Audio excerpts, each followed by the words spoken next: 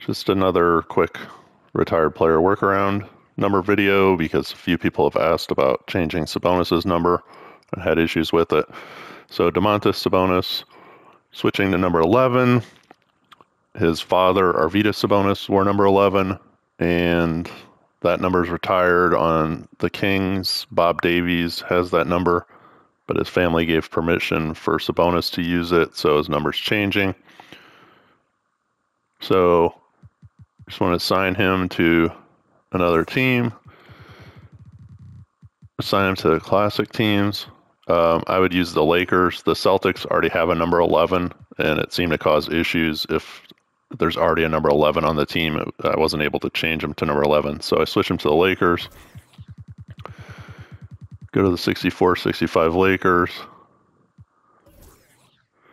Pull up Sabonis change the number 11.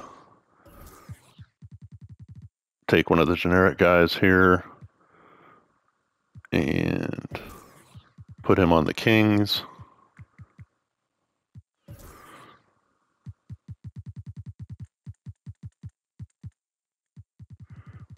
And then you need to change him to Bob Davies. Remember, whoever you're trying to, whichever retired player you're trying to work around, you've got to you're going to have to, if you don't already know him, you're going to have to look him up and see who has that number because that's whose name you need to change it to.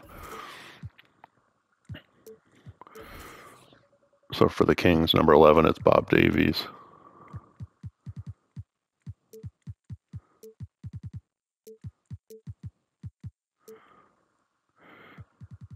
And once you change him to number Davies, you can give him number 11.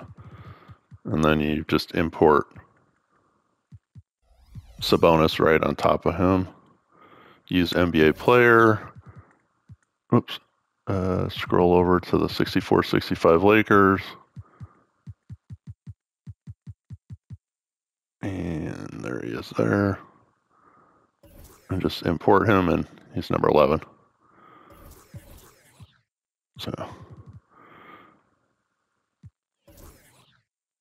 there you go, Sabonis number 11.